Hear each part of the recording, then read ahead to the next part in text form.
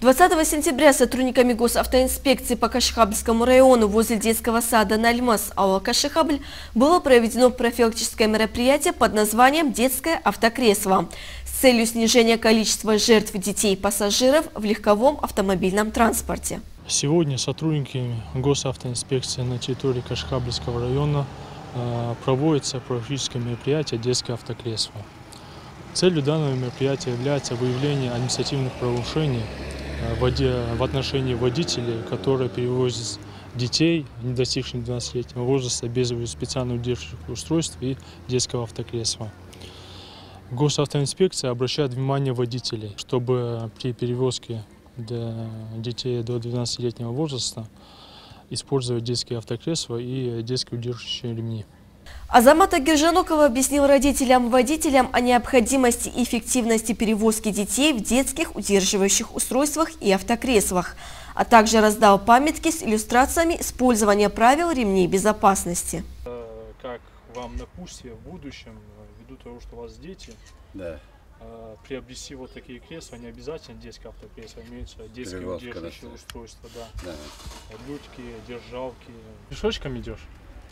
Да, на машине катаешься, что ли? Когда в садик на машине. На машине, да? А что вот такое? Ты знаешь, что такое Ярик? Вот это что?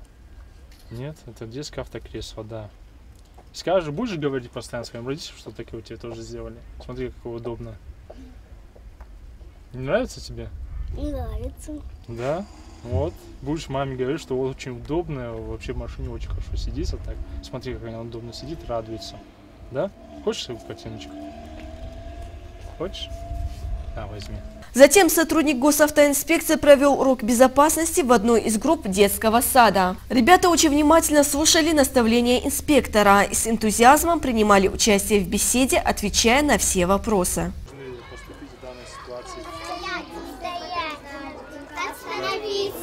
Правильно, молодцы. Вы должны ждать, пока Посмотри, слева, вправо. Ни в коем случае, да, нельзя выбегать на улицу? Да. да. Что мы делаем, когда мы едем внутри автомобиля, кто знает? А детям надо пристегнуться. Молодец. Сидеть Молодец. Как тебя зовут?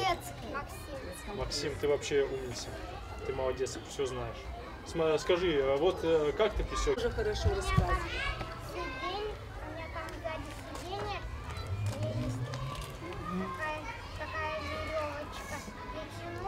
ремень. Да, ремень безопасности вот так берется, правильно, ребят? Вот так пристегивается, да, вот сюда. Это называется, вот так надо ездить внутри машины. Че, пристегивает мое кресло, чтобы оно не вылетело. А ты в кресле что делаешь? Как ты садишься в него? Пристегиваюсь. В кресле есть такие ремешки, которые меня пристегивают. Полосатая. Пешеходный переход. Вот молодец. Пешеходный переход, правильно. А как Я еще хочу. ребята маленькие его называют? Зебра. Да, зебра. Что напоминаешь? Зебру. Зебру, да? Зебра это пешеходный переход. Да, еще одно же помещение. Вы тоже переходите э, в детский садик по пешеходному переходу? А вот, ребят, если нет на дороге пешеходного перехода, что нам делать тогда? По тротуару, правильно? И по обочине. Давайте представим, что мы сейчас стоим возле дороги и видим вот такой светофор перед собой.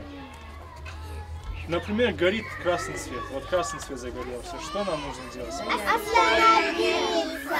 Вот молодцы. А под... вдруг подождали немножечко и загорелся желтый свет. Да? Мы пешеходы с вами.